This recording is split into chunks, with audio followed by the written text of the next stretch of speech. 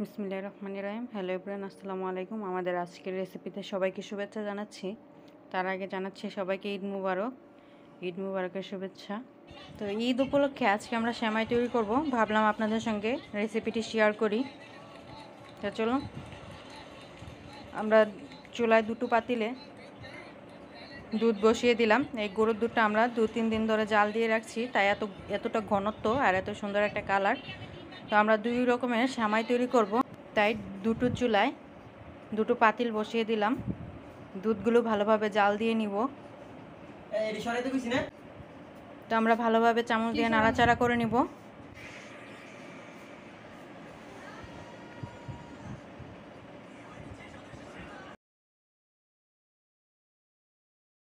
তো দুধটা বলক উঠে আসলো জাল দিতে দিতে। তো বলক ওঠার পর এর মধ্যে দিয়ে দিব একটা দারচিনি, এলাচ, দুটো পাতিলেই দিয়ে দিব পরিমাণ মতো, দিয়ে দিব তেজপাতা।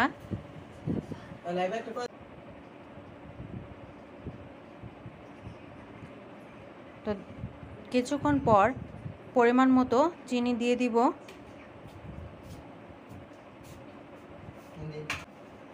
দুটো পাতিলেই পরিমাণ মতো চিনি দিয়ে দিব আর পরিমাণ মতো লবণ দিয়ে দিব।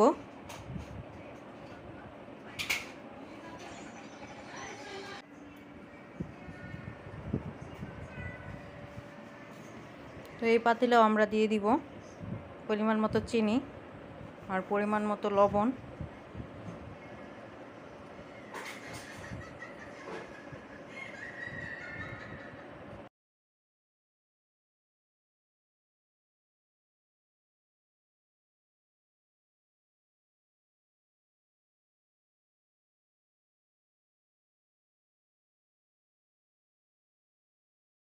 তো আবারও ভালোভাবে বলক উঠিয়ে নিব আমরা দুধগুলো। তো দুধগুলো ভালোভাবে বলক উঠানো শেষ। এখন আমরা, আর অপর সাইডে আমরা শ্যামাই নিয়ে নিলাম। বাদাম নিয়ে নিলাম। শ্যামাইগুলো ছোট ছোট করে ভেঙে নিব।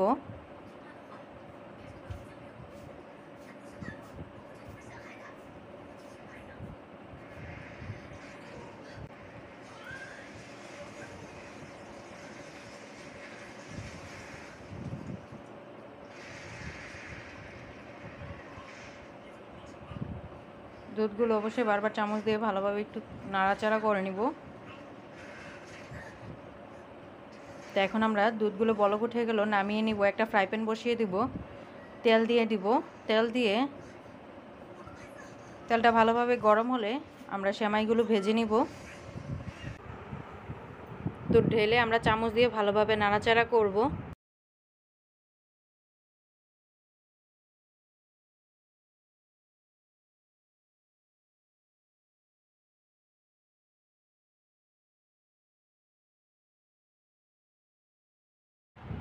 চামচ দিয়ে ভালোভাবে বারবার ভেজে নিব উল্টা পাল্টা করে নিব, নাহলে নিচে লেগে যেতে পারে।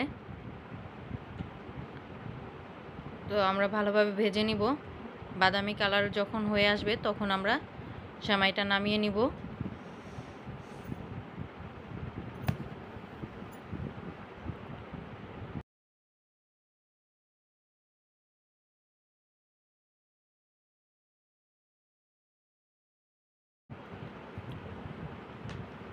তো শ্যামাইগুলো বাদামি কালার হয়ে এসেছে। এখন আমরা ফ্রাই প্যানটা নামিয়ে নিব, দুধটা আবারও বসিয়ে দিব।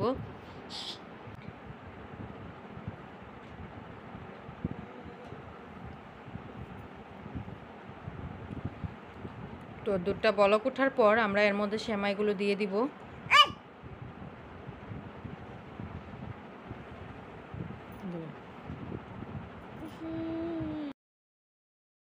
এ চামচ দিয়ে নাড়াচাড়া করব। তো আর এই লাচ্চা সেমাইগুলো আমরা ভাজবো না। এটা আমরা এমনি দুধের মধ্যে ঢেলে দিব।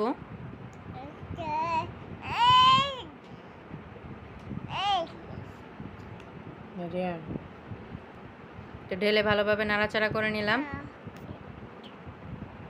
তো এখন ঢাকনা দিয়ে ঢেকে দিব। আর এই রেসিপিটা আপনাদের মাঝে শেয়ার করা হয়েছে। আমরা খাজলা কীভাবে তৈরি করেছি তো সেই খাজলাগুলো এখন এর মধ্যে আমরা দিয়ে দিব সবগুলো ভেঙে।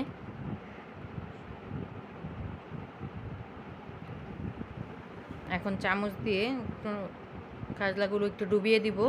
তো এটাও ঢাকনা দিয়ে ঢেকে দিব, আশা করি। তৈরি হয়ে গেল আমাদের দুই রকমের শ্যামাই রেসিপি তো আশা করি আমাদের রেসিপিটি ভালো লেগেছে। যদি ভালো লাগে অবশ্যই লাইক করবেন। শেয়ার করবেন সবার মাঝে আর কমেন্টে আপনার মূল্যবান মতামত জানাবেন যে আমাদের রেসিপিগুলো আপনাদের কাছে কেমন লাগে। আশা করি আমাদের রেসিপিটি ফলো করে আপনারা বাসায় শ্যামাই তৈরি করলে অনেক ভালো ফল পাবেন। তো আমাদের চ্যানেলটি সাবস্ক্রাইব করে অবশ্যই আমাদের একটু সাপোর্ট করবেন। সাবস্ক্রাইব করে পাশে থাকে বেল আইকনটি বাজিয়ে দিবেন যাতে করে নতুন কোনো রেসিপি চালে আপনার ফোনে নোটিফিকেশনটি চলে যায় এবং আপনি আমাদের রেসিপিগুলো দেখতে পারেন। গাইস আসসালামু আলাইকুম।